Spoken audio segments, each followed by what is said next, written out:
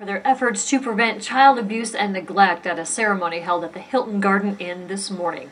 People from all over the state were recognized, including licensed foster parents, youth in foster care, child advocates, as well as staff members working in the child abuse and neglect system.